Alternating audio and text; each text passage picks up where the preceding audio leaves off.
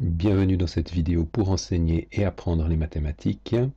Il s'agit ici de calculer une dérivée à l'aide de la définition de la dérivée. L'énoncé est le suivant. On considère la fonction réelle définie par f de x égale 2 sur x. Déterminer donc la dérivée à l'aide ou à partir de la définition de la dérivée. La définition de la dérivée, on est censé la connaître. Il y a deux façons de l'écrire. La première est f' de a est égal à la limite quand x tend vers a de f de x moins f de a sur x moins, ce qui permet en général de calculer ce qu'on appelle plutôt le nombre dérivé. Ou alors, il y a une autre écriture équivalente qui permet directement d'arriver avec une expression en x qui est limite de f de x plus h moins f de x sur h lorsque h tend vers 0.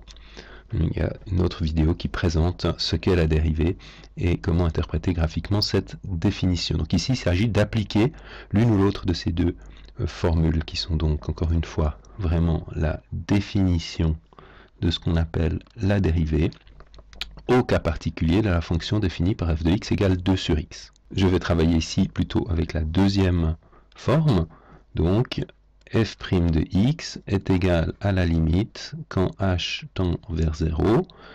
Alors je vais commencer par ce qui est facile, c'est-à-dire ce qui ne dépend pas de x, donc le h qui est en bas ne change pas, et puis en haut il y a une différence, f de x est directement défini ici par 2 sur x, donc moins f de x ça fait moins 2 sur x, et ici il faut faire un peu attention, j'ai f de x plus h, Ici, f de x égale 2 sur x veut bien dire f de y égale 2 sur y, f de z égale 2 sur z, f de 8 égale 2 sur 8. Donc f d'une certaine variable égale 2 sur cette certaine variable. Si ce que je mets comme départ dans la fonction f, comme élément de l'ensemble de départ que j'introduis dans la fonction f, si cet élément s'appelle x plus h, donc f de x plus h sera 2 sur x plus h. Donc tout ce qui apparaît ici se retrouve à l'identique. Ici, ça c'est la définition de ce qu'est une fonction. Donc f de x plus h, c'est bien 2 sur x plus h. Ensuite, je vais passer à une partie algébrique, à savoir que j'ai une différence de fraction. Donc, différence de fraction, je dois travailler sur le dénominateur commun. J'ai ici un dénominateur qui est x plus h et ici un dénominateur qui est x. Le dénominateur commun est dans cette situation le produit, x plus h fois x. Je dois amplifier ici cette fraction par x plus h au dénominateur et au numérateur. Et ici, je dois amplifier cette fraction par x au numérateur et au dénominateur. Et ainsi, j'obtiens la limite quand h tend vers 0 grande barre de fraction alignée peu près sur la limite, h au numérateur, et puis maintenant, ici au numérateur, j'ai une autre fraction, le dénominateur commun est bien x plus h fois x, x plus h fois x, x plus h fois x, et puis au numérateur, ici, 2x moins 2 fois x plus h, c'est du pur calcul algébrique de fractions. Ensuite, on va vraiment faire les détails parce que malheureusement, c'est souvent ici qu'il y a quelques soucis qui se posent de calcul algébrique. J'ai toujours ma barre de fraction et mon h au dénominateur. Ici, 2x distributivité, ici moins 2x moins 2h sur mon dénominateur commun qui n'a pas bougé et surtout je ne le distribue pas puisque l'objectif dans un calcul de limite va être à un moment donné de pouvoir simplifier afin que nous puissions lever l'indétermination du calcul de limite. On continue. Moins 2x, moins 2x disparaît. Il me reste ici moins 2h. Donc ça me fait...